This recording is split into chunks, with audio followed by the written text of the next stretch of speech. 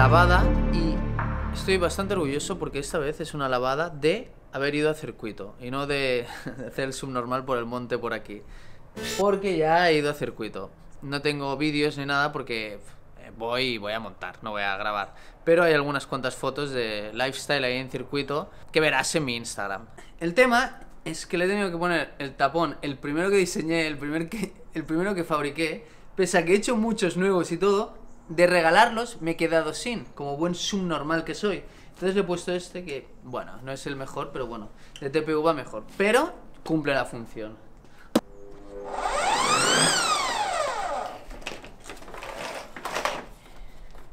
Esto es una puta mierda.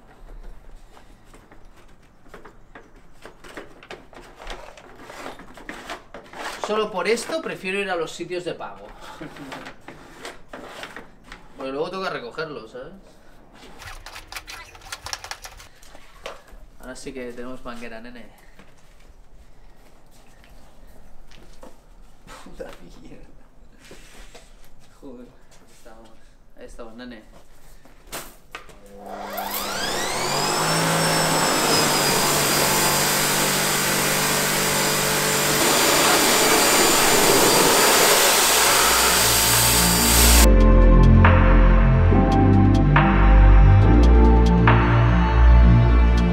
Y así de limpia e impecable y reluciente queda mi moto después de un lavado.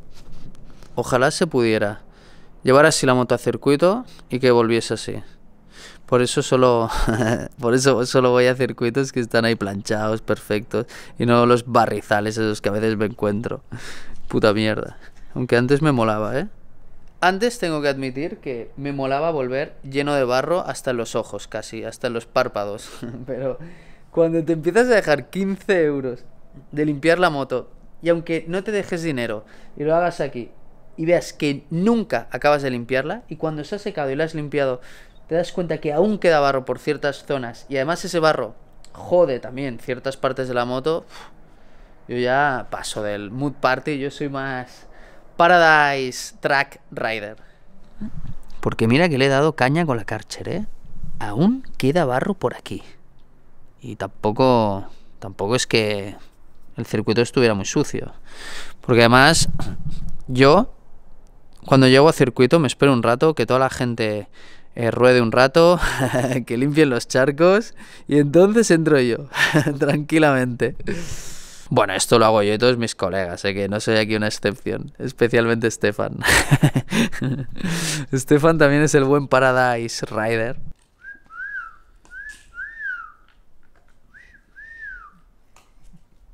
¿Hay chicas por aquí caminando? No, solo una. ¿Hay chicas por el camino? No me doy cuenta. Ahora que estamos aquí de chilling un poco, aprovecho para mencionar un poco que mi, mi constancia de vlogs ha bajado bastante porque me paso mucho tiempo en el despacho y maquinando y eso. Entonces, todo el tema lifestyle pues cuesta un poco de, de maquinar, porque si hay poco lifestyle, pues poco que se puede grabar, ¿no? No obstante, estoy muy activo en Twitch y ahí estoy compartiendo todo aquello que no compartiría aquí, porque igual es un poco de nicho, pero todo tema de negocios, diseño, diseñando en tiempo real lo que estoy haciendo en ese momento, un poco de gaming también cae, y charlas en general de diferentes temas, por lo cual te animo a que te vengas al canal de Twitch, que te lo dejo en la descripción, el enlace directo, para que no tengas ni que pensar. Y, y, nada, decir eso. Y que Carla, también encontrarás su canal de Twitch en enlace, el enlace en la descripción, que se lo está creando, aún, aún no ha colgado nada, pero, pero ahí está, ahí está, está, estamos en proceso, maquinándolo. Porque al final lo de Twitch es muy interesante, ya que queremos crear contenido porque nos gusta crear contenido, pero hay ciertos aspectos que nos limitan un poco. Entonces lo de Twitch es muy interesante porque además puedes aportar mucho valor a la audiencia que todo aquello que siempre me preguntan y me da palo hacerlo en un vídeo de YouTube porque va a tener pocas views, pues mira, lo hago en Twitch. Momento barbacoa. Siempre le resto importancia al, al carbón hasta que me pongo a hacer la puta barbacoa, coño. Qué lenta es. Para comerme unos cuantos calzots, joder, la, que, la que lío. Pero y el, el Good Life queda una barbacoa que... ¿Eso? ¿Eso dónde queda? Pobre como sufre cada día. Y así queda más o menos eh, lo más próximo a una obra de arte que puedo hacer yo en el mundo de la cocina. Poner calzots con, con el alambre, ¿sabes? Para luego, cuando los giras, pues girarlos todos de una. Y no hacerlo cada uno eh, por separado, que es una matada que flipas eso. Esta es mi obra de arte en el mundo culinario. Sí, bueno, no tienes otra. Voy yo ahora sí, ¿eh? Así que vamos, vamos a quemar a estos pobrecitas, a estas pobrecitas cebollas. Ni loca, ni loca me como esto. Hostia, esto, esto es un manjar. Loic, mi amigo francés, lo ha probado y ha dicho, joder, los, los catalanes cómo manejan. Otras coda- cosas quizás no, pero calzots no veas. ¡Oh! Me pican los ojos. Uah. Aquí la clave son las gafas de motocross. Oh. Guau, ya huele, ya huele a cebolla. Ya huele, ya huele a cebollita. ¿Y ves cómo se hacen? Vale, pues ahora mismo tengo la duda de si debería empezar a sacarlos ya o no. siempre dudo igual, pero al final siempre están buenos, ¿eh? No sé cómo mierda lo hago, que... No sé, tengo, tengo magia, tengo el don. Yo creo que es el don.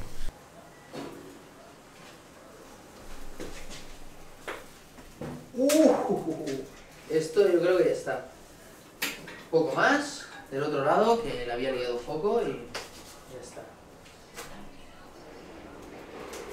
Ahora el tema es ponerlo con periódico para que se acabe de hacer por dentro. Aunque no sé, yo juraría que esto está un poco hecho ya, ¿eh? A ver que se vea bien. Joder, esto está más chamuscado, pero... Pero por dentro aún le falta un poco. Yo estoy, estoy seguro que le falta. Prensa importante. Siempre. Prensa vegetal.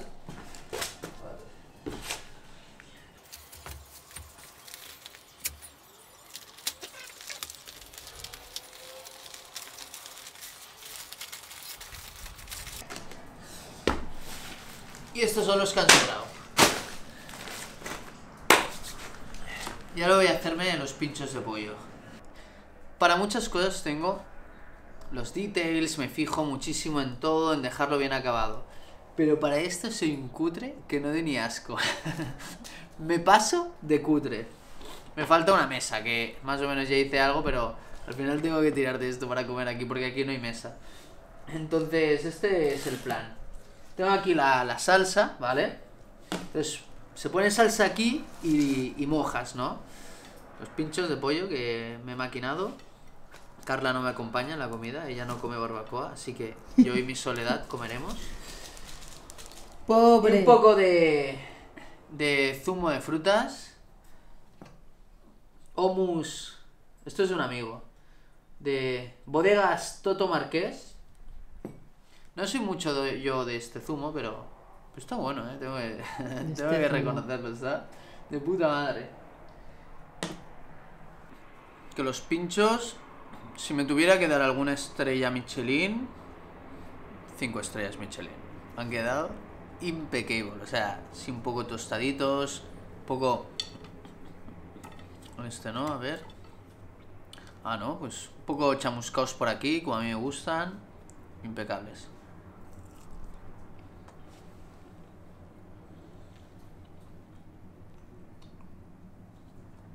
Buah, qué más mala.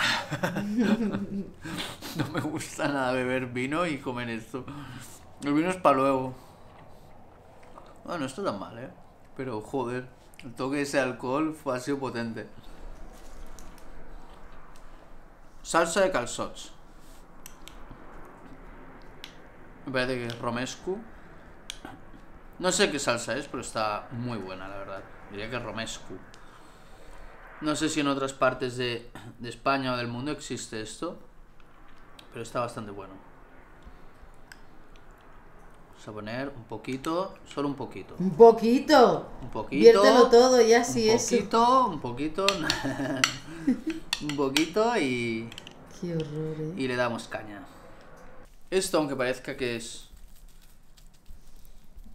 bueno, queda un poco deshidratado.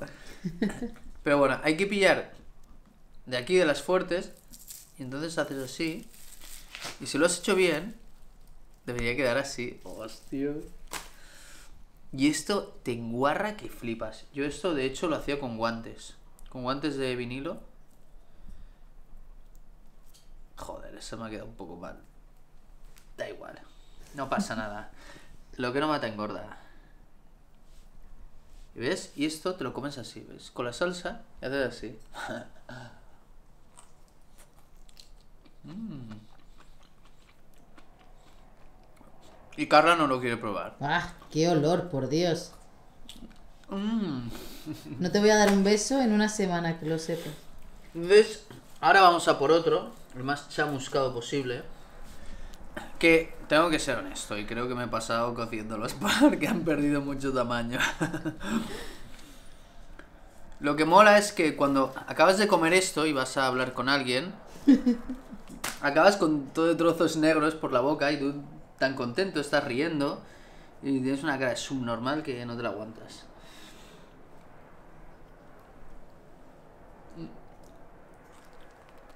Oh. Se ha quedado amazing. Vale, vale, este es potente, este es gordo. Porque a mí me gustan grandes y gordas. Estas cebollas tienen que ser grandes y gordas. Así, así me gusta. Joder, qué nivel. Esto es el manjar de los dioses. Mira que simple, ¿eh?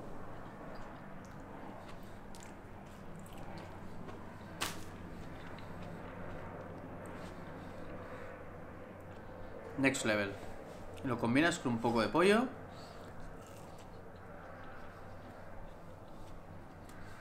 Se fini.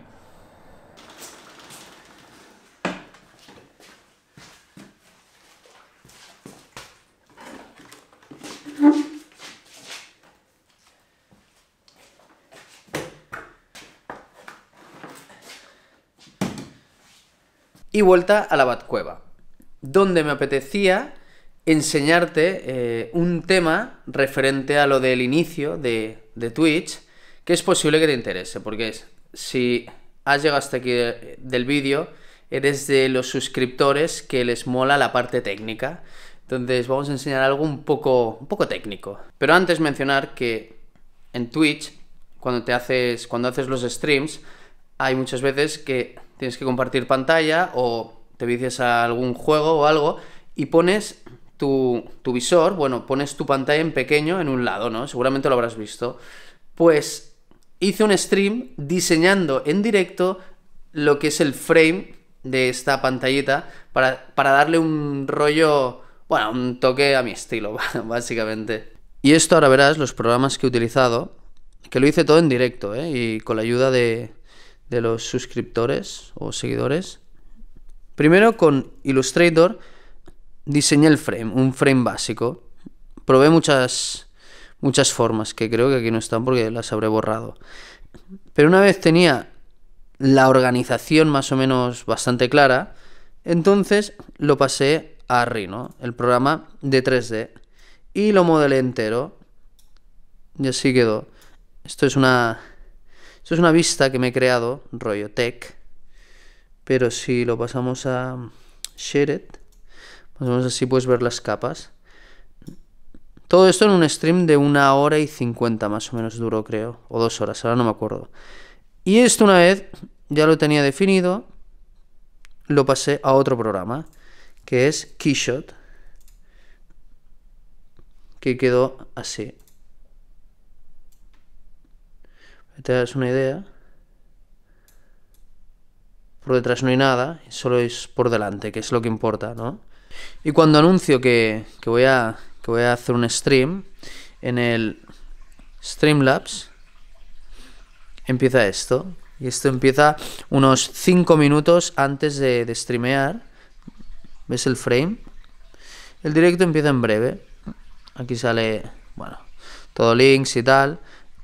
Y cuando empiezo bueno empieza normal con todo normal. Pero cuando me pongo a trabajar o rollo gaming tengo aquí unas escenas creadas. Y aquí en Work, ¿vale? Es aquí. es ahí, ese Tito Hugo ahí. Con el frame. A ver que lo aparto. ¿Ves? Pues ese es mi frame. Un frame rollo... Mira, voy a poner... Un frame.